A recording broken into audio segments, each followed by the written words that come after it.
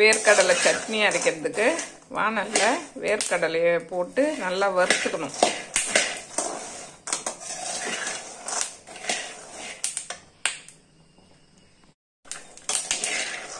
இந்த அளவுக்கு நல்லா செவந்து வந்ததும் எடுத்து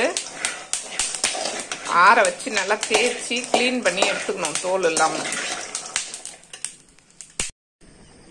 இந்த மாதிரி கப்பு வச்சு ஒரு வேர்க்கடலையை நல்லா தீத்தி உடச்சி க்ளீன் பண்ணி எடுத்துக்கணும்.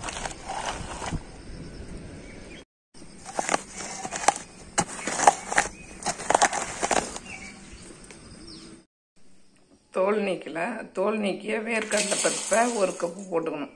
மிக்சி ஜாரில்.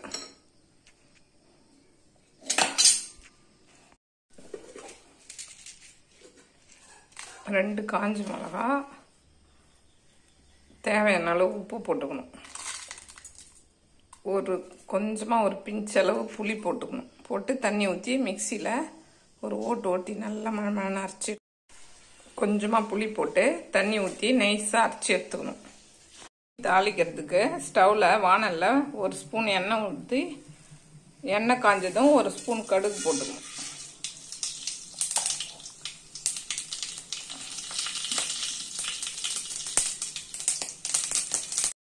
கடுகு வெடிச்சதும் ஒரு கட்டு க கருவேப்பிலையை போட்டுக்கணும். போட்டு தாளிப்பை எடுத்து சட்னியில் போட்டுக்க வேண்டியதான்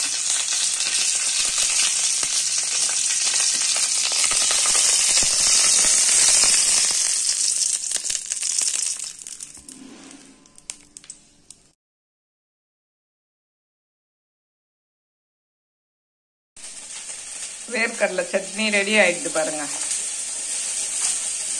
இந்த இட்லி தோசை எல்லாத்துக்கும் தொட்டு சாப்பிட்டா சுவையாக இருக்கும். உடம்புக்கும் ரொம்ப ஹெல்த்தியாக இருக்கும்.